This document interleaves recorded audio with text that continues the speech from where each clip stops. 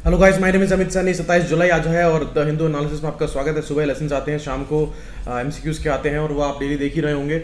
Important questions हैं और full detail में आपको उनको पढ़ना है और पीडीएफ आपको डेली मिल ही जाती है, जो मेरा फेसबुक का ग्रुप है, उसके ऊपर मैं डालता हूँ।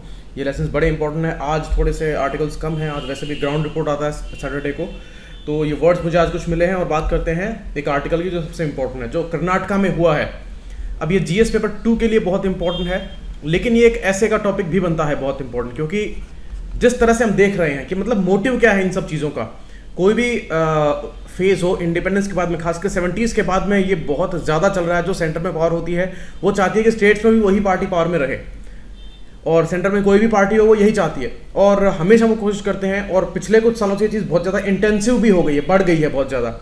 अभी कर्नाटका में जो हुआ है वो एक तरह से मज़ाक ही कहा जाएगा कि मतलब आ, क्या ये लोग सिर्फ़ इसी चीज़ के लिए ही आते हैं और इन्हीं चीज़ के लिए चुनते हैं? और सबसे बड़ा क्वेश्चन इनके साथ भी नहीं है। क्वेश्चन है लोगों के साथ में कि लोग कैसे ऐसे चुन लेते हैं? जिन लोगों को लोग जानते नहीं है और या फिर जानते हैं तो फिर जानबूझ के इग्नोर करते हैं कि उनको सिर्फ़ पावर और पैसा ही चाहिए। फिर भी क्यों चुना जाता है ऐसे लोगों को?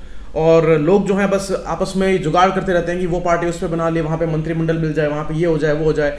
तो कोई जो रिप्रेजेंटेशन है डेमोक्रेसी की जो वैल्यू है जो कोई आ, लोगों की एस्पिरेशन होती हैं एक जो गरीब पॉपुलेशन होती है, उनके कुछ डिमांड्स होती हैं, उनके कुछ राइट्स होते हैं, उनके कुछ सपने होते हैं, उनको पूरे करने के लिए वो लोग उनको चुनते हैं।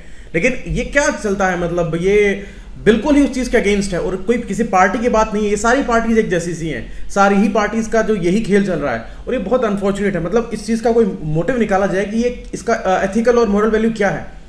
तो ये बिल्कुल डिवास्टेटिंग चीज़ है डेमोक्रेसी के लिए। क्या इस चीज़ को देखने के लिए जो है कॉन्स्टिट्यूशन मेकर्स ने इतनी सारे मेहनत की थी, इतनी सारा डिस्कशन किया, आज़ादी जब मिली तो क्या उन्होंने ये सोचा होगा कि कल को जाके इंडिया में इस तरह से होने लग जाएगा? लेकिन ये हो रहा है, ये मॉरल क्राइसिस है बहुत बड़ा।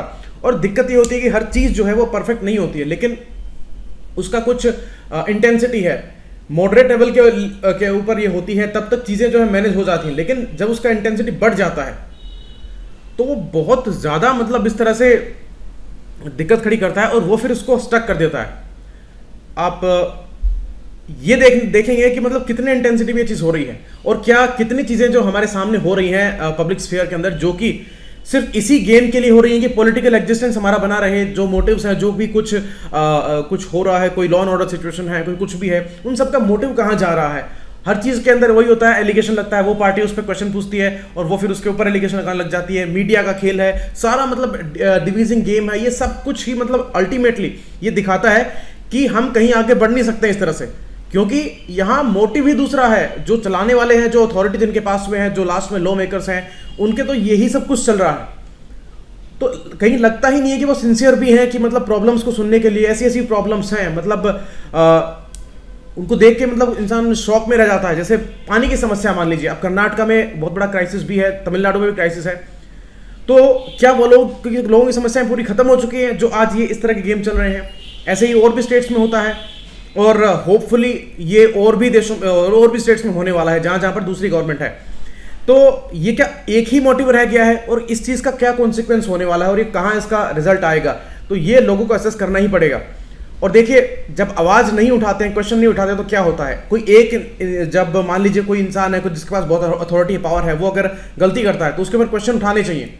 क्योंकि वो चीज़ सीधी सी है कि भाई, आपको जो करना है, वो आप नहीं कर रहे हो, उसके बाद कुछ और ही चीज़ में टाइम पास हो रहा है तो क्वेश्चन उठते हैं। लेकिन अगर वो क्वेश्चन जो है, कोई पूछने से दबाता है, और कोई आजकल क्या तरीका आ गया, सीधा नहीं दबाते हैं। कोई दूसरे ग्रुप्स आ जाएँगे और फिर वो उनके अगेंस्ट क्वेश्चन उठाने लग जाते हैं, वो उनकी इंटीग्रिटी पर सवाल उठाने लग जाते हैं।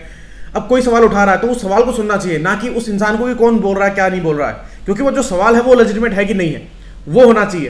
तो ऐसे ही बहुत सारे केसेस में हो रहा है। लिंचिंग वाले केस में हुआ। आज न्यूज़ भी आई है कि परसों एक ग्रुप ने 49 लोगों ने चिट्ठी लिखी थी प्रधानमंत्री जी को। तो उन्होंने ये रिक्वेस्ट की कि इस चीज़ को देखा जाए और जो आपने बोला है पार्लियामेंट में, वो सफिशियंट नहीं है। इसके ऊपर पूरे मतलब ये लिए जाए स्टेप्स इस तरह के हार्ड स्टेप्स अदरवाइज़ ये चीज़ बहुत मुश्किल है। क्योंकि ये चीज़ एविडेंस सारे सामने है। अब देखिए क्या हो गया है, अब उन लोगों को दबाने के लिए या फिर कुछ और लोगों के जो डिफरेंस ऑफ़ ओपिनियंस हैं, वो ये चीज़ है। उन्होंने काउंटर में एक चिट्ठी आ गई 62 लोगों की। वो 49 की थी पहले, अब 62 लोगों की आ गई है। वो ये कह रहे हैं कि इनके सारे इल्ज़ाम जो है फर्जी हैं और देश की इमेज खराब करने के लिए। लेकिन ये चीज़ तो हमारे सामने है कि कुछ तो चल ही रहा है। इसीलिए कंसर्न है मोब लिंचिंग हो ही रही है और ऐसा उसको डिनाई नहीं कर सकते। हमारे पास तो वीडियो एविडेंसेस हैं सारे के सारे। तो ये चीज़ तो क्वेश्चनेबल है। अब इसके ऊपर क्वेश्चन नहीं उठाएँगे तो क्या होगा? फिर ये ट्रेंड चल पड़ेगा कि कुछ नहीं हो कोई फ़र्क नहीं पड़ता। थोड़े बहुत बोलते हैं, उनको चुप करा देंगे। उसके बाद में और उनका संख्या बढ़ जाएगी। जो गलत काम करने वाले रॉन्ग डूवर्स हैं, उनकी संख्या और बढ़ जाएगी। तो और लोग बढ़ेंगे, उनकी और हिम्मत बढ़ेगी। ऐसे करते करते उन लोगों का और बढ़ता जाएगा। और बाकी जो लोग हैं, फिर शुरुआत में तो वो चुप हैं, लेकिन बाद में क्या होगा? बाद में ये होगा कि वो कुछ कर ही नहीं पाएँगे, क्योंकि उनका पावर इतना बढ़ जाएगा, जो रॉन्ग डूवर्स हैं उनकी संख्या इतनी बढ़ जाएगी, उनका पावर इतना बढ़ जाएगा कि वो जो बाकी जो लोग पहले चुप थे, उनकी सारी पावर वो खींच लेंगे और फिर वो मनमानी करेंगे और फिर ये चाहकर भी कुछ नहीं बोल पाएँगे। इसलिए शुरुआत में ही चीज़ को क्वेश्चन करना बहुत ज़रूरी है डेमोक्रेसी के अंदर, इसलिए क्वेश्चनिंग बहुत ज़रूरी है। लेकिन जो सारा कुछ हमारे सामने हो रहा है, लेकिन हम एज ए रिस्पॉन्सिबल सिटीजन क्या कर रहे हैं?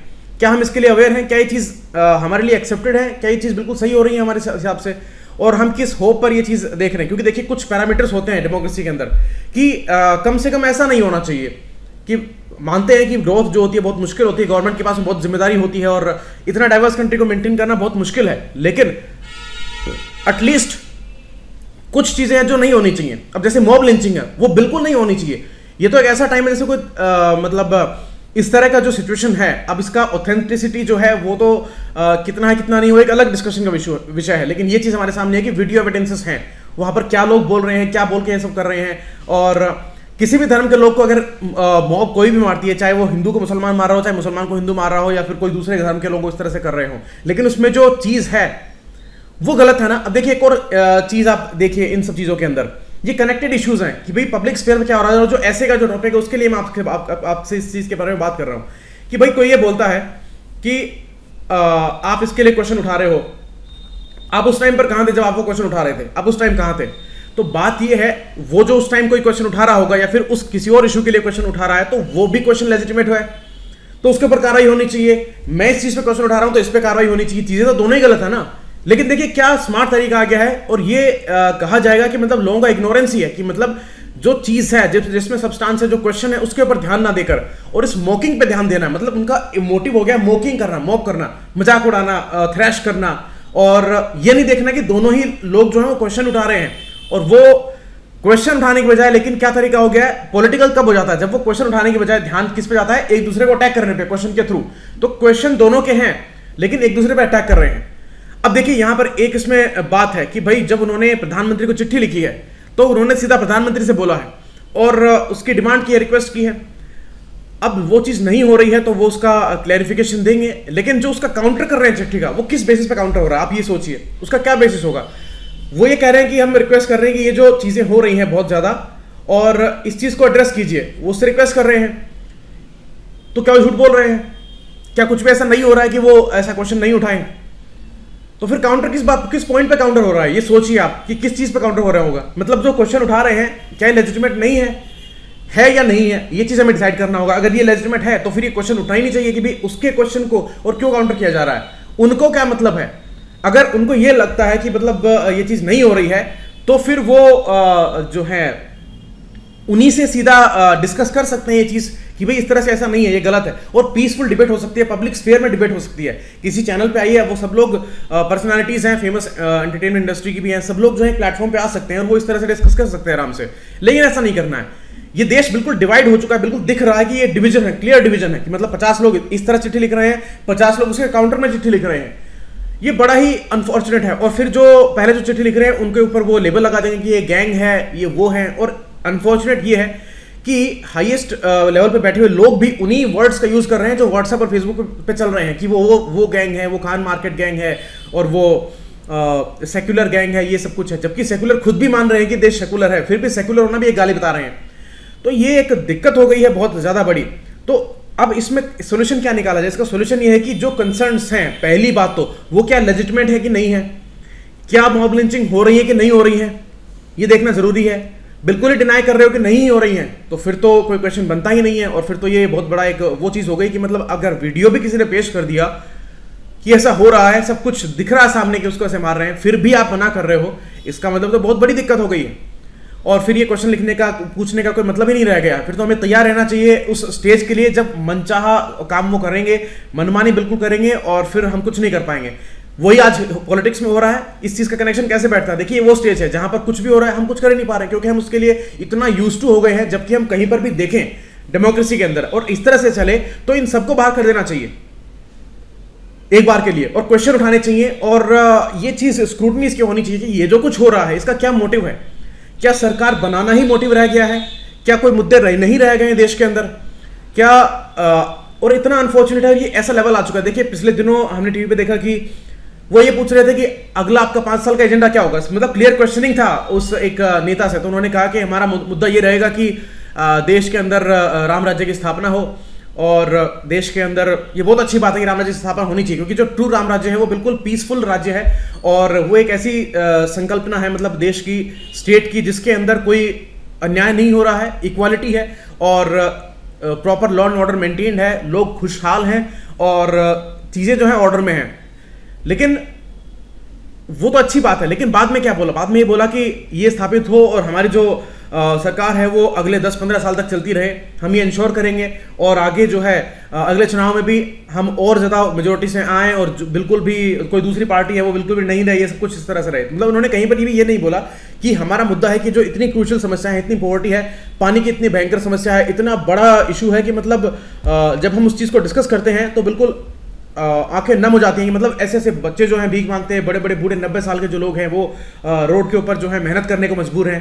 क्योंकि कोई सपोर्ट नहीं मिल पा रहा है। जो दलित हैं, उनके ऊपर अत्याचार है, कोई और दूसरा टारगेटिंग कहीं पर हो रही है, कोई अनफॉर्चुनेट लॉ एंड ऑर्डर की सिचुएशन है, जो विमेन सेक्शन है, उनके ऊपर इतने अत्याचार है मतलब ऐसे ऐसे हीनियस क्राइम्स जो है वो बढ़ रहे हैं। लेकिन उनका कोई बात नहीं की। उन्होंने कहा कि अगले बार जो है फिर से हम पार्टी में मज़बूत बने हमारी और फिर से सरकार बने। और यह सरकार चलती रही आगे तक। तो उनका मोटिव ये था। उनका ये पहला भाषण था चुनाव जीतने के बाद में।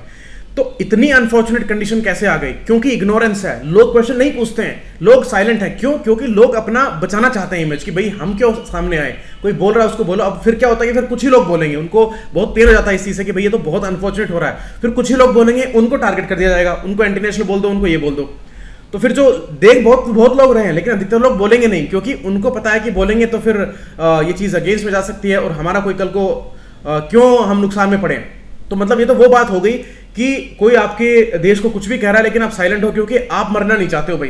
तो फिर ये जैसे मान लीजिए सैनिक भी ऐसे सोचने लग जाएँ कि भाई हम क्यों मरे? देश में बहुत लोग हैं, हम क्यों जाके मरे वहाँ पर? ऐसे सोचने लग जाए तो सोचिए, क्या देश बचेगा? नहीं बचेगा। तो सिविलियंस की भी रिस्पॉन्सिबिलिटीज हैं कि ऐसी अगर चीज़ें हमारे सामने हो रही हैं तो उनके ऊपर कम से कम हम कुछ तो क्वेश्चन उठाएँ। ये पूछेंगे भाई ऐसा क्यों? ये क्या मोटिव है? लेकिन ऐसा खुल के हो रहा है और वही दिक्कत हो गई है कि कुछ लोगों को बिल्कुल ये चीज़ प्रॉब्लम दे रही है, फील हो रही है उनको, इसलिए उसके ऊपर क्वेश्चन भी उठा रहे हैं। और वो कोई वायलेंट मीन से नहीं बोल रहे हैं। वो क्वेश्चन ही उठा रहे हैं, लेकिन उनको लेबल ऐसा किया जा रहा है। देखिए, पिछले दिनों क्या शानदार एक बात आई कि मतलब जो क्वेश्चन उठा रहे हैं, उनके ऊपर तो टारगेटिंग है, उनके ऊपर ट्रोलिंग भी हो रही है, सब कुछ हो रहा है। और जो लिंचिंग जहाँ पर हो रही है, उसको कह रहे हैं कि ये कोई ऐसी बात नहीं है। इसके ऊपर हम कार्रवाई करेंगे, ये कोई ऐसी बात नहीं है। बड़ी बात यह कि आपने क्वेश्चन कैसे उठाया? आपने देश की इमेज खराब की क्वेश्चन उठाकर। तो ये एक ऐसी स्टेज आ चुकी है जिसमें बहुत ज़्यादा ज़रूरी है कि हम बहादुरी से पेश आए क्योंकि ये टाइम आ चुका है बहुत बहादुरी से पेश आने का कि लोग कम से कम ये इतने करेजियस हों कि कोई क्वेश्चन तो उठाएँ। हो सकता है कि को, कोई कंफ्यूजन हो रहा हो लोगों को हो सकता है ऐसा कुछ नहीं हो रहा हो और ये कंफ्यूजन हो रहा हो फिर भी वो क्लियर तो हो कम से कम। ऐसा नहीं कि मतलब कोई क्वेश्चन उठा रहा है उसको ट्रोल करने लग गए बुरी तरह से उसको टारगेट करने लग गए और ये सब कुछ होने लग गया। क्योंकि क्लियर एविडेंसेस हैं। वो क्या है? वो आज हम देखेंगे एक न्यूज़ आई जिसके अंदर एक गाना बढ़ रहा गाना चल रहा है कि भाई एक रिलीजियस है उसके ऊपर कार्रवाई भी, भी होगी उसमें एफआईआर दर्ज हुई है और गिरफ़्तार भी हुए हैं। कोई चैनल यूट्यूब के ऊपर उसको गाना गा रहे हैं कि जो जय श्री राम नहीं बोलेगा उसको कब्रिस्तान भेज भेज दो। कब्रिस्तान भेज दो मतलब उसको मार दो। और कब्रिस्तान से मतलब क्या है कि कब्रिस्तान जो है वो हिंदू धर्म में नहीं होता है वो ईसाई धर्म में और मुस्लिम धर्म में होता है। तो इसका मतलब ये क्या इसका मैसेज है?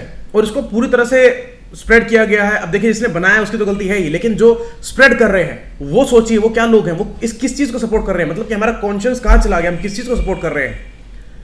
ये तो मतलब एक ये ये चीज़ हो गई कि कल को कोई भी दूसरा इंसान सुनेगा तो उसका क्या मतलब निकालेगा? कि आ, क्या हिंदू लोग ऐसे होते हैं? नहीं। ऐसे नहीं होते हैं। ऐसा धर्म नहीं है। बिल्कुल भी नहीं है। कोई भी धर्म ऐसा नहीं है। और जैसे मैं, मेरी बात करूँ, मैं हिंदू तो मैं इस चीज़ को बिल्कुल भी एक्सेप्ट नहीं कर सकता कि कोई इस तरह से ये बोले कि जो जय श्री राम नहीं बोलेगा, उसको कब्रिस्तान में भेज दो। इवन भगवान राम भी नहीं ये चाहेंगे कि कोई उनका नाम नहीं लेगा तो उनको कब्रिस्तान भेज दो। ये किस तरह का मैसेज है? लेकिन हम इसको सपोर्ट कर रहे हैं, हम इसको यस बोल रहे हैं और इसको स्प्रेड कर रहे हैं दूसरे लोगों के अंदर। तो ये हमारा कॉन्शियस कहाँ चला गया? इसलिए बहुत बड़ी दिक्कत है, बहुत बड़ी दिक्कत है। बहुत बड़े क्वेश्चन उठ गए हैं लोगों की समझदारी के ऊपर कि ये क्या हो रहा है। और इतने लाखों की संख्या में उसको स्प्रेड किया जा रहा है और व्हाट्सएप पे फैल रहा है फेसबुक पे फैल रहा है। ये क्या है? इसलिए हमारे सामने बहुत डेरिंग जो है क्वेश्चंस खड़े हो गए आज। और ये इनकी कॉम्प्लेक्सिटी बढ़ती जाएगी टाइम के साथ साथ में, क्योंकि जब तक आप, जब तक लोग जो है इसके ऊपर गलत चीज़ों पर क्वेश्चन नहीं उठाएँगे तो ये चीज़ बढ़ती जाएँगी, क्योंकि उनका तो मोटिव यही है, वो बस ये चेक करेंगे लोग कितना साइलेंट है, वो और बढ़ता जाएगा बढ़ता जाएगा, और ऐसा स्टेज आएगा कि हम कुछ भी नहीं कर पाएँगे। उसके बाद में कोई कुछ बोलेगा तो इतना जो एक भयंकर स्टेज आ सकता है, जहाँ पर पूरी मनमानी हो सकती है, क्योंकि लोग उसको एक्सेप्टेंस दे रहे हैं साइलेंट एक्सेप्टेंस uh, दे रहे हैं। उसके ऊपर क्वेश्चन नहीं उठा के बिल्कुल गलत चीज़ हो रही है मॉब लिंचिंग हो रही है उसके ऊपर क्वेश्चन नहीं उठाएँगे तो फिर किस पर क्वेश्चन उठाएँगे? और क्वेश्चन नहीं उठा रहे हैं इसका मतलब एक साइलेंट सपोर्ट है उस चीज़ को। और ये साइलेंट सपोर्ट बहुत डेंजरस होता है। हिस्ट्री हमें बताती है हिस्ट्री हम जहाँ भी पढ़ते हैं तो इसलिए बोलते हैं कि हिस्ट्री जो लोग नहीं पढ़ते हैं वो हिस्ट्री वहाँ पर फिर रिपीट होती है। और वो रिपीट होगी तो फिर बहुत डेंजरस उसके कॉन्सिक्वेंस भी होंगे। दुनिया में देश हैं जैसे हांगकॉन्ग में हो रहा है चाइना इतना ज़्यादा ऑटो, ऐसा ऑटोक्रेटिक कंट्री है कि मतलब बहुत ज़्यादा वो सप्रेस करता है। उसके भी खिलाफ लोग जो है इतना डेयरिंग तरीके से और प्रोटेस्ट कर रहे हैं और साइलेंट प्रोटेस्ट कर रहे हैं, कोई ऐसे मारा तोड़ नहीं कर रहे हैं। उन्होंने कोशिश की, देखिए एक तरीका क्या होता है प्रोटेस्ट का। कुछ लोगों ने, गलत लोगों ने कोशिश की, वहाँ पर कुछ लोग घुस गए, वहाँ पर और गुंडे घुस गए वो तोड़फोड़ मचाने लग गए। लेकिन उन्होंने फिर, वो सारे के सारे पीछे हट गए। उन्होंने अपना प्रोटेस्ट रोक दिया एक बार करिए फिर ये देखा कि ये लोग कौन है, कहाँ से आए उन्होंने कुछ लोगों को हर्ट किया, लेकिन उन्होंने किसी ने भी उसका जवाब नहीं दिया, क्योंकि उनको पता था कि इनका मोटिव यही है कि ये यहाँ पर तोड़फोड़ मचाने आए इसको मूवमेंट को बदनाम करने आए हैं। और फिर अगर हमने हाथ उठाया तो हमारे ऊपर ये इल्ज़ाम आएगा कि आपने प्रोटेस्ट के अंदर तोड़फोड़ की और देश की संपत्ति को नुकसान पहुँचाया। लेकिन वो सारे के सारे पीछे हट गए। जिस किसके सिर पर डंडा पड़ रहा था, वो खाया उन्होंने। और खून में निकला सब कुछ हुआ, लेकिन उन्होंने कुछ बोला नहीं, क्योंकि उनको पता था कि मोटिव है। तो मोटिव समझना बहुत ज़रूरी है। इस तरह के गाने चल रहे हैं, इनका मोटिव क्या है? मोटिव समझना बहुत ज़रूरी है। और ये तो एक इतनी डेंजरस स्टेज है मतलब ऐसी ऐसी मतलब खतरनाक चीज़ों के रिगार्डिंग हम क्वेश्चन नहीं उठा रहे हैं। ये तो बहुत बड़ी समस्या हो गई है। और इतनी बड़ी जनता है, वो अगर साथ में आते हैं पॉजिटिव चीज़ों के लिए साथ में आते हैं, देश के कंस्ट्रक्टिव सोल्यूशन देने के लिए साथ में आते हैं तो इस देश की बहुत बड़ी जनसंख्या है। सोचिए, एक बिलियन लोग जो हैं, वो ये बोल रहे हैं कि हमें कैसे भी पानी की समस्या को सॉल्व करना है, चाहे आप कोई सेस लगाइए टैक्स लगाइए, कुछ भी करिए, लेकिन इसको आप एक साल के अंदर अंदर सॉल्व कीजिए। और ये टाइम बाउंड मैनर में होना चाहिए। सोचिए, ऐसा कैंपेन चले। तो क्या करना नहीं पड़ेगा इनको? लेकिन करना आ, ये नहीं करेंगे क्योंकि ऐसा कोई कैंपेन है ही नहीं क्योंकि लोग डिवाइडेड हैं। अब हमने क्लियर देखा है कि मतलब सेलिब्रिटीज भी डिवाइडेड हैं। कितना भयंकर वाला ये डिवीज़न आ चुका है लोगों के आ, मतलब थिंकिंग के अंदर। क्या सच में ऐसा है?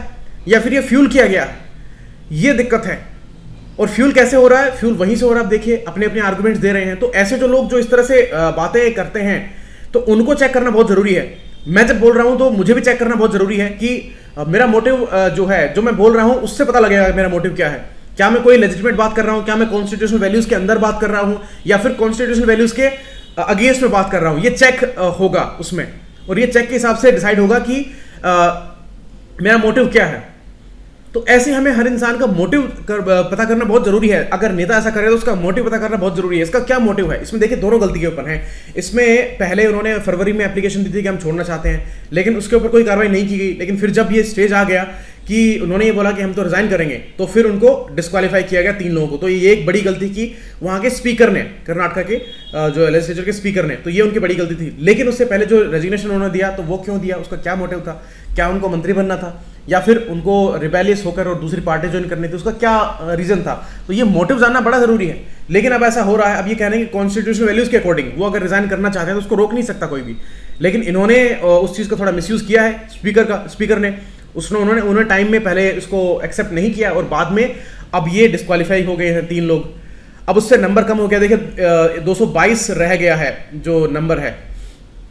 और 222 में से 112 की अब ज़रूरत है। अब देखिए, जो येदियुरप्पा हैं, जो बीजेपी के हैं, वो फिर से अब चीफ मिनिस्टर घोषित हो गए हैं। लेकिन अभी उनको मंडे को फिर से अपनी मेजोरिटी साबित करनी होगी। वो किस तरह से करेंगे, अब वो देखना होगा। क्या ये फिर से कोई नया नाटक शुरू होगा, या फिर क्या होगा, वो देखने की बात है। लेकिन यहाँ पर इंपॉर्टेंट आर्टिकल 164 वन बी तो वो उसमें ये है, ये दिखाया गया है, ये बताया गया है कि भाई कोई इंसान अगर डिस्कालीफाई होता है एंटी डिफेक्शन के लिए मतलब कोई एंटी डिफेक्शन की जो डेफिनेशन है उसके अंदर कोई पार्टी बदलता है पार्टी के अगेंस्ट जाता है, इस तरह से कोई मोटिव उसका ऐसा है कि जो जो धोखेबाजी कोई पार्टी के साथ कर रहा है तो वो एंटी डिफेक्शन का केस बनता है। उसमें स्पीकर के पास में पार होती है। तो अगर किसी को डिस्कालीफाई किया गया एंटी डिफेक्शन के बेसिस के ऊपर तो वो उनको फिर री इलेक्ट होना पड़ेगा। उनको फिर से चुनाव लड़ना पड़ेगा। तो अब ये इनको फिर से चुनाव लड़ना पड़ेगा। बाई इलेक्शन होंगे। लेकिन दूसरे किसी तरीके से अगर वो डिस्कालीफाई होते हैं, कोई दूसरा जैसे कॉन्स्टिट्यूशन प्रोविज़न जो हैं ओरिजिनली जो थे, उसके हिसाब से फिर वो बाहर हो जाते हैं, फिर वो चुनाव भी नहीं लड़ सकते हैं। लेकिन यहाँ पर चुनाव लड़ सकते हैं। इसलिए इनके ऊपर कोई रोक नहीं है कि फिर से चुनाव नहीं लड़ेंगे, लेकिन लड़ना पड़ेगा। ठीक है? अभी वाला केस नहीं चलेगा। तो ये सिचुएशन है और बहुत डिस्टर्बिंग है। डेमोक्रेटिक वैल्यूज़ के हिसाब से कॉन्स्टिट्यूशन वैल्यूज़ के हिसाब से बहुत ज़्यादा डिस्टर्बिंग है। इसमें क्वेश्चन खड़े होते हैं टेंथ शेड्यूल के ऊपर भी एंटी डिफेक्शन के इशू के ऊपर भी। और लेकिन इसके साथ साथ में जो इनका कंडक्ट है पार्लियामेंटेरियन का और लेजिस्लेचर का, वो भी और डिस्कस होना बहुत ज़्यादा ज़रूरी है, बहुत ज़्यादा ज़रूरी है, क्योंकि ये एक हाई टाइम है, ये हो गया, ऐसे ही मीडिया है।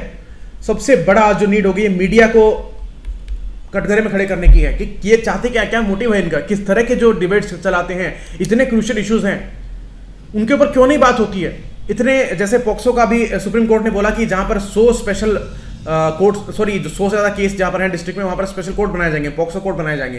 क्या इन्होंने कभी इस इशू के ऊपर लगातार डिबेट की है? इन्होंने वो एक जो लड़की भाग गई थी और उसने शादी की उसको चार दिन तक चलाया।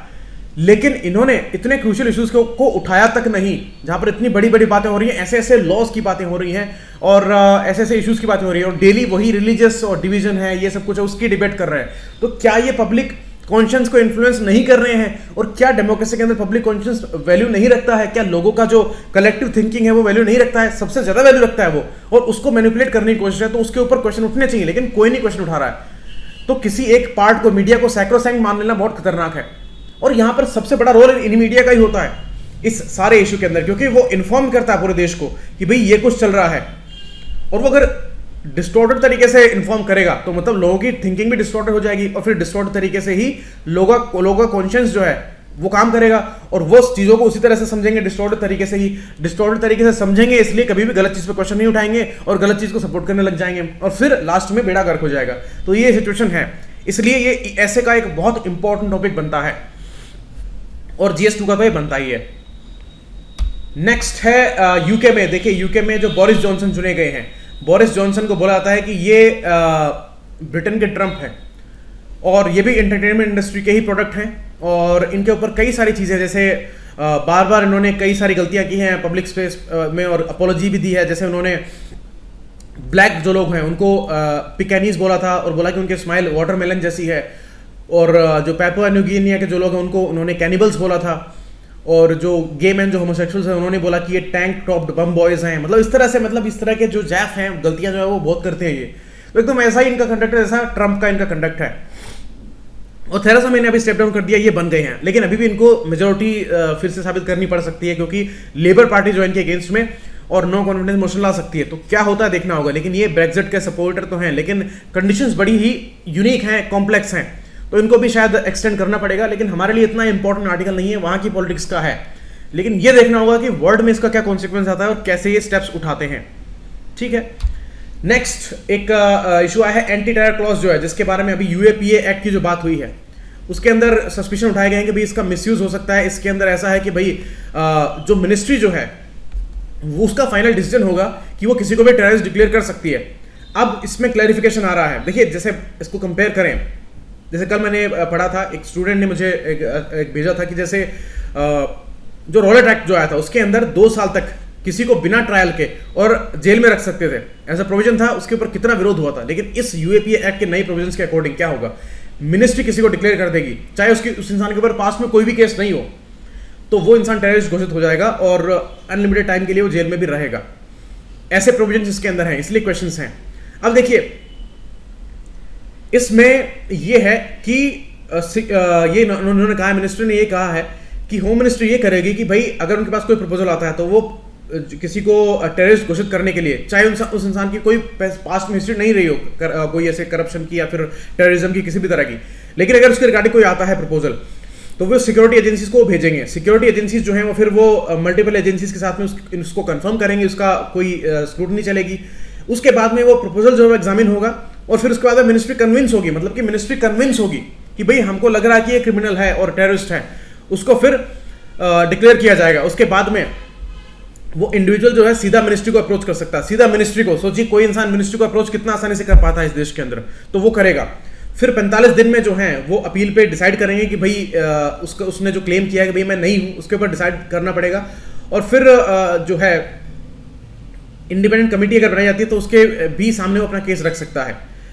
तो ये इस तरह से उसको टेररिस्ट डिक्लेयर कर दिया जाएगा और ये इसमें कह रहे हैं कि इसका जो एग्जीक्यूशन है उसमें बड़ी ही कंफ्यूजन है लूप होल्स हैं और उसका फ़ायदा उठाया जा सकता है और मिसयूज भी उसका हो सकता है कि कोई हो सकता है कि किसी ऐसे इंसान को अगर मान लीजिए एजेंसीज वगैरह जो हैं वो आ, सही तरीके से काम नहीं करती हैं फ्यूचर में पॉसिबिलिटी ऐसी है कि नहीं करें तो फिर वो किसी ऐसे इंसान को भी डिक्लेयर कर सकते हैं जो कि टेररिस्ट एक्चुअल में नहीं है।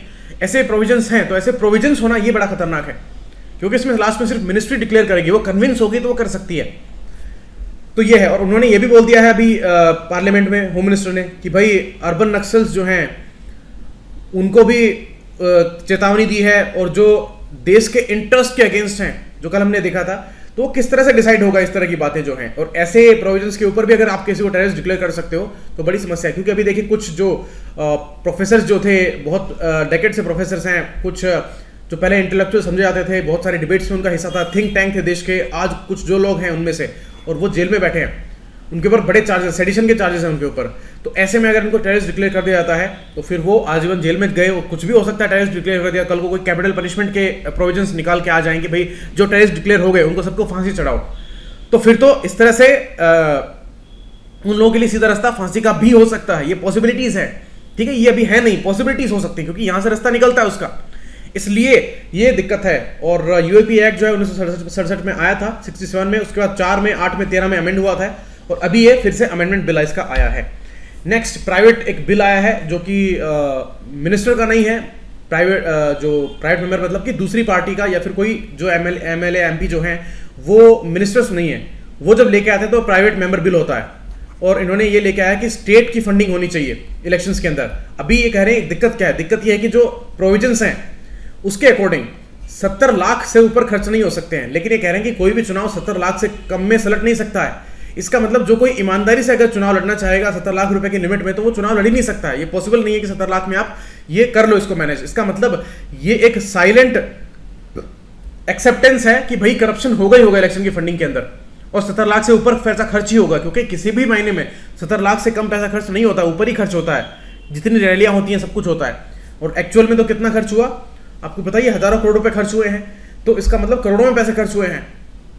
तो फिर ये सत्तर लाख की लिमिट जो हटानी चाहिए और स्टेट का फंडिंग इसमें होना चाहिए ताकि उसका सारा ब्यौरा रहे, कैसे है, क्या है। लेकिन अभी तो ब्यौरा ही नहीं है, अभी तो सीधा इन्होंने ये बोल दिया है कि भाई हम नहीं बताएँगे कि कौन हमें फंडिंग कर रहा है। ये क्लियरली बोल दिया है जनता को कि हम फंडिंग के बारे में कोई इन्फॉर्मेशन रिवील नहीं करेंगे। ये बड़ी समस्या है, क्योंकि इलेक्शन बॉन्ड का इशू आया और वो भी एसबीआई के थ्रू आया और एसबीआई कितना इन्फॉर्मेशन को सिक्योर रख पाएगा अथॉरिटी से वो प्रैक्टिकली समझने वाली बात है। हम जानते हैं कि जब RBI election commission of India इन पे एलिगेशन लग रहे हैं तो फिर एसबीआई कितनी बड़ी जो है, मज़बूत बॉडी है, वो देखने वाली बात है कि वो कितना इन्फॉर्मेशन को सिक्योर रख पाएँगे बॉन्ड्स के रिगार्डिंग और फिर ये भी बोल दिया है, जनता जनता को भी हम नहीं बताएँगे कि फंडिंग कौन हमें कर रहा है, कितनी कर रहा है। अगर कोई नेक्सस होता है, कोई कंपनी और पार्टी के बीच में तो फिर कुछ भी हो सकता है, कितने भी हज़ारों करोड़ रुपये मिल सकते हैं, उसका हमें कोई पता नहीं लगेगा। और वो इतने पैसे अगर मिल भी रहे हो, इसका मतलब उसका सीधा इंटेंशन क्या है, उसका मोटिव क्या है कि भाई उनको फ़ायदा पहुँचाया जाएगा? ये नेपोटिज्म है। क्रोनिक कैपिटलिज्म जिसको बोल सकते हैं, ये वो है। नेक्स्ट अभी सेंसस 2017 में हुई थी एलिफेंट्स के रिगार्डिंग पाँच साल में एक बार होती है और प्रोजेक्ट एलिफेंट जो है, इस देश में जो चलाया गया था नाइन्टीज में, उसके अंडर ये होती है। उसके अकॉर्डिंग कर्नाटक में सबसे ज़्यादा जो है एलिफेंट्स की पॉपुलेशन है, उसके बाद में असम है, फिर केरला है। लेकिन ये कह रहे हैं कि केरला के अंदर हो सकता है कि कम काउंट हुए हों। और टोटल जो है वो सत्ताईस हज़ार तीन सौ बारह गिने गए लेकिन ये कह रहे हैं कि शायद हो सकता है कि ये जो है फिगर उनतीस हज़ार का हो। अब पहले 2017 में ये बोला गया कि केरला में तीन हज़ार चौवन जो है एलिफेंट्स हैं। लेकिन अभी जो फ्राइडे के फिगर्स आए अभी जो फ्राइडे को आए हैं उसमें कल उसमें पाँच हज़ार सात सौ छह जो हैं वो आ, आ, दिखाए गए हैं। तो इसका मतलब सत्तर वाली सेंसस के अंदर हो सकता है कम हो। तो ये भी सिचुएशन है। आपके लिए इंपॉर्टेंट नहीं है कि पाँच साल में होती है सेंसस प्रोजेक्ट एलिफेंट के अंदर होती है और इसमें इतना नंबर है। तो नंबर डिक्लाइन पे है। लगभग दो, बाईस के आसपास नंबर जो वो कम हो गए हैं एलिफेंट्स के। प्रोजेक्ट एलिफेंट देश में चल रहा चलता है, चल रहा है। नेक्स्ट नॉर्थ कोरिया की जो एक नई मिसाइल इन्होंने लॉन्च की है, उन्होंने सिग्नल दिया है कि भाई सब कुछ सही नहीं है, क्योंकि साउथ कोरिया ने क्या किया है? अभी अमेरिका से, जो, क्योंकि अमेरिका का स्ट्रेटेजिक पार्टनर है तो एफ़ थर्टी फाइव प्लेन्स लिए हैं।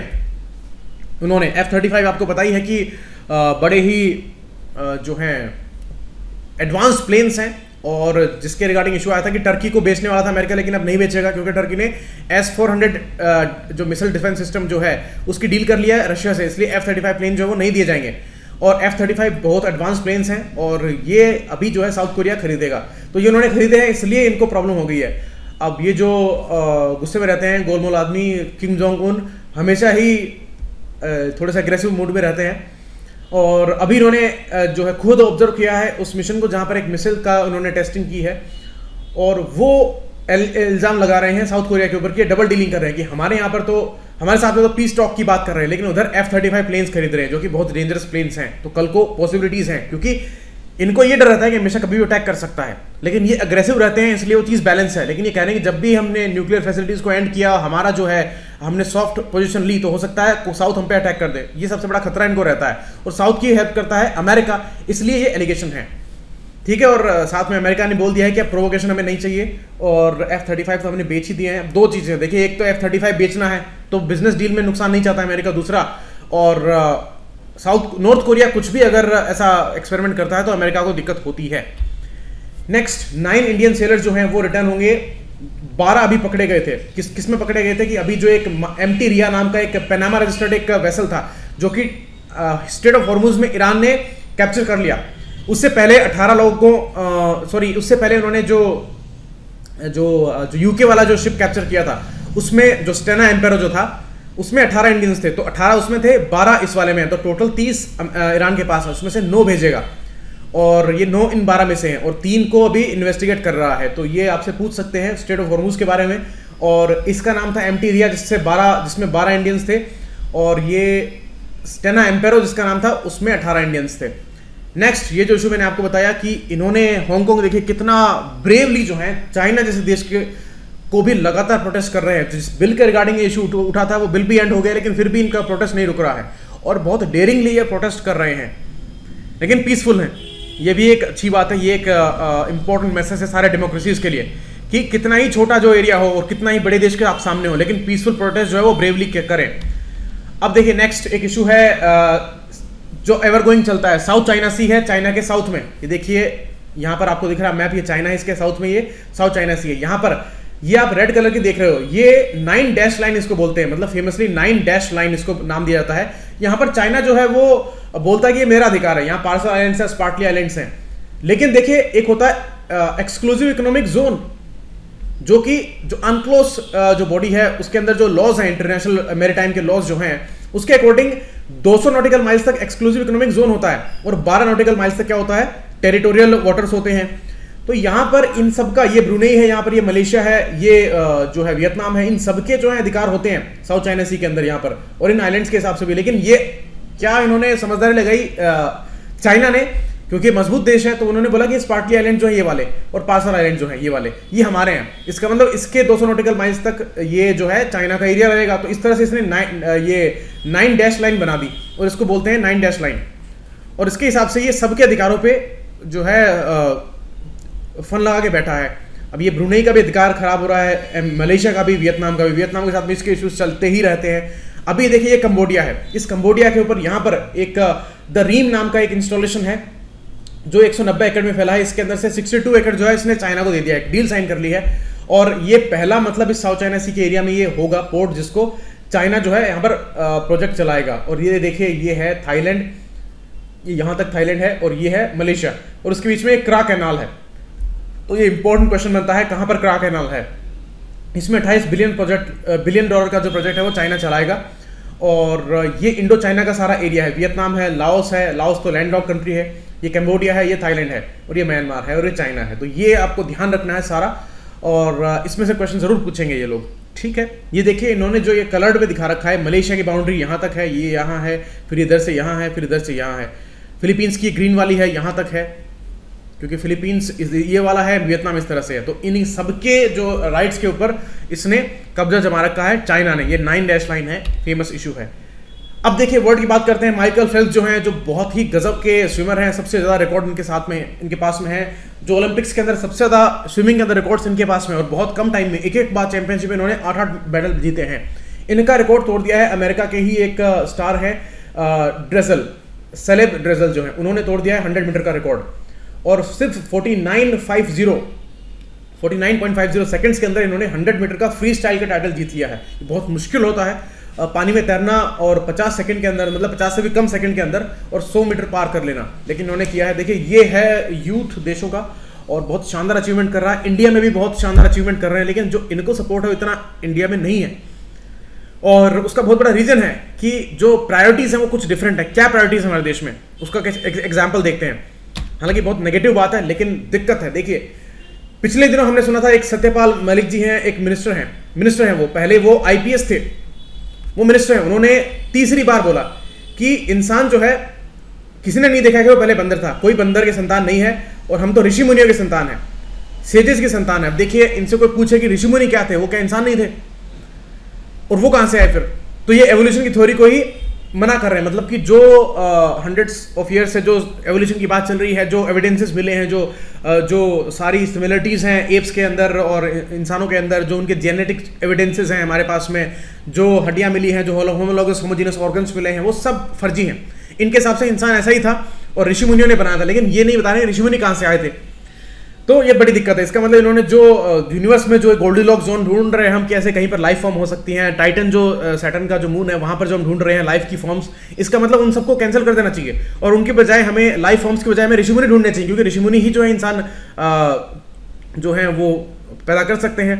तो ये बड़े बिजार मतलब मिनिस्टर से कह रहे हैं, ये आईपीएस रहे हैं और ये मिनिस्टर हैं। और ये पब्लिक डोमेन में मतलब पार्लियामेंट में खड़े होकर ये ओपनली बोल रहे हैं। मतलब इनको डर नहीं है, क्योंकि कुछ भी बोल सकते हैं पार्लियामेंट में। ये बोल रहे हैं। लेकिन आप सोचिए वो जो इनके फॉलोअर्स हैं, जो काफ़ी ज़्यादा इनमें फेथ रखते हैं, वो क्या सीखेंगे इनसे? नई जनरेशन क्या सीखेंगे? ये ओपनली बोला जा रहा है। ऐसे ही बड़ी बड़ी बीमारियों के रिगार्डिंग बड़े बड़े क्लेम्स हैं कि भाई ऐसा होता है, हम जानते हैं कि गोमूत्र पीने से कैंसर ठीक होता है। अब उससे कहीं पहले आप उसकी रिसर्च कीजिए, फिर आप बोलिए कि ऐसा होता है और उसका पेपर पब्लिश करवाइए, उसके ऊपर पेटेंट लीजिए, उसके बाद बोलिए कि हाँ ऐसा पॉसिबल है। अदरवाइज़ ये तो मिसलीडिंग हो गया लोगों को। और दूसरा उत्तराखंड के चीफ मिनिस्टर हैं, चीफ मिनिस्टर हैं, स्टेट की हाईएस्ट कॉन्स्टिट्यूशनल पोस्ट है। वो कह रहे हैं कि काउ जो है, वो ऑक्सीजन को एक्सहेल करती हैं। ऑक्सीजन एक्सहेल करती हैं। अब देखिए, एक तो जिसमें दो बात है। हम सांस लेते सांस छोड़ते हैं। उसमें कार्बन डाइऑक्साइड अधिकतर अधिकतर होती है, छोड़ने वाले में कुछ ऑक्सीजन भी होती है। लेकिन ये बोलना कि ऑक्सीजन एक्सहेल ही करती है, ये गलत का स्टेटमेंट है। और ये कह रहे हैं कि इससे टीबी भी क्योर हो सकती है, बहुत सारी सांस की बीमारियाँ ठीक हो सकती हैं, जो गाय के आप आसपास रहेंगे तो। हो सकता है चीज़ पॉसिबल हो, लेकिन क्या एविडेंस है? साइंटिफिक एविडेंस क्या है? क्या बिना साइंटिफिक एविडेंस के कोई इलाज पॉसिबल है इस दुनिया के अंदर? क्या आपको कोई बोले कि भाई इस दवाई आप ले लीजिए इसका पता नहीं है कि इससे आपकी बीमारी ठीक होगी कि नहीं होगी वो हमें नहीं पता लेकिन बोला जाता है कि ऐसा होता है इससे। क्या वो दवाई आप लेंगे? नहीं लेंगे। तो ये मिसलीडिंग है और ये देखिए कौन कर रहा है? चीफ मिनिस्टर और आ, ये मिनिस्टर्स कर रहे हैं। जो सेंटर में मिनिस्टर यूनियन मिनिस्टर हैं आईपीएस हैं जो पहले रहे हैं। तो ये क्या दिक्कत वाली बातें नहीं है? क्या क्वेश्चनेबल बातें नहीं है? सोचने वाली बात है। एक जो हेट सॉन्ग की बात आई ये देखिए इतना गजब से स्प्रेड हुआ है और इतना क्वेश्चनेबल बात है कब्रिस्तान भेजने की बात है। तो ये इतने बड़े क्वेश्चंस हैं। अब बहुत लोग मुझे ये बोलेंगे कि आपको दिक्कत हो रही जय श्री राम से मुझे दिक्कत नहीं जय श्री राम से। जिस तरह से जय श्री राम का यूज़ हो रहा है मुझे उससे दिक्कत है। ये तो बदनामी है। जय श्री राम के इस प्योर स्लोगन की बदनामी है। क्या आ, कोई भी धर्म के अंदर ऐसा बोला जाता है? और क्या खासकर हम हिंदू धर्म के बिलीवर हैं उसमें पैदा हुए हैं तो हमने क्या आज तक ऐसी सीख सुनी है कि भाई राम के नाम पर आप किसी को कब्रिस्तान भेज दो? नहीं। तो क्या ये क्वेश्चनेबल नहीं है? लेकिन इसको भी ट्रोल किया जा रहा है। इसके रिगार्डिंग कोई क्वेश्चन उठा रहा है, उसको ट्रोल किया जा रहा है। लेकिन क्वेश्चन तो उठाना पड़ेगा।